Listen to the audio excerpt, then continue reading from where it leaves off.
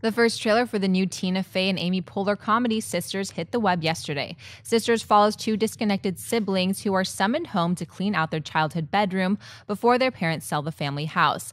Looking to recapture their glory days, they throw one final high school style party for their classmates, which turns into the cathartic rager that a bunch of ground down adults really need. Mark, what did you think of the first Sisters trailer? Uh, I think it shows promise. I didn't laugh that much watching the trailer, but that never has been something that prevents me from wanting to see a comedy. I like when they don't give away the best jokes in the trailer. It was surprising, obviously, to see the role that Tina Fey is playing and the role that Amy Poehler is playing. Mm. I would have those switched like it was in Baby Mama, where you more expect Tina Fey to be the straight laced one and Amy Poehler to be the crazy one. I like that they turned that premise on its ear. I think the idea overall is funny that you have this rager at your house one more time. Uh, the trailer itself, as a piece of art, didn't care for it that much, but as an advertisement for a movie that I think has promise, I'm on board. I love these two. So anything that they do, John Cena, by the way, popping into the end of the trailer, much like he does in Trainwreck. If his performance in Trainwreck is any indication to what he can do in this movie, I'm definitely going to pay to see it. You know, you, you raised up a point. I also thought maybe you'd see those roles reversed, but it worked for Pineapple Express, so maybe it's kind of a good thing mm-hmm. that they're switching them up. Look, Tina Fey, Amy Poehler, these guys are awesome. Therefore, anything they do is going to be awesome, right? Nope. This is a horrible trailer. That, this trailer sucks.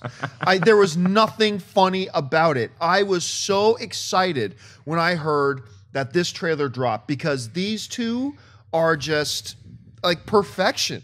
I, I love everything these guys do, especially when they do it together. There's such a great comedic chemistry between the two of them, both when it's like uh, like a live sort of thing, whether they're doing the Golden Globes, when they're on screen together. Their individual work, I love. I was so excited about this, but I cannot let my fandom of the two of them you know, clear up this mucky murk of the fact that this trailer sucked. I, it actually has turned me off the movie. I agree. I don't want to see something that's going to make that's going to give away the best jokes. But damn it, you, your trailer better make me laugh. And I don't think I grinned. I don't think I grinned once. So here's hoping the next one does a lot better because man, we're not off to a good start. Um, I want to take Theon Greyjoy's name away and say this trailer reeks. Um, it, it, it, it's not good, and I, I really like these two a lot. And I actually think they did that one movie together. The I forget it was like the where Amy Poehler is taking is pregnant. And Baby Mama. Baby Mama. Baby Mama. Yeah. Right, right, right, right. So um, that that worked for me. So I still think that this movie could work because they work together so well. And the director of the first Pitch Perfect it, Yeah. it could be really funny. And like you said, Mark, you know, John Cena was amazing in Trainwreck. To, to, if they can put those cameos together the right way, I still think this movie could work and probably will. And I don't know why it is. As, as Amy Poehler gets older, I, fi- I find myself more attracted to her. I don't know what that is, but uh, she's that shot in particular? especially in that shot. Um, but there's uh, but it's just this trailer. None of the jokes hit, and it's like the, it's like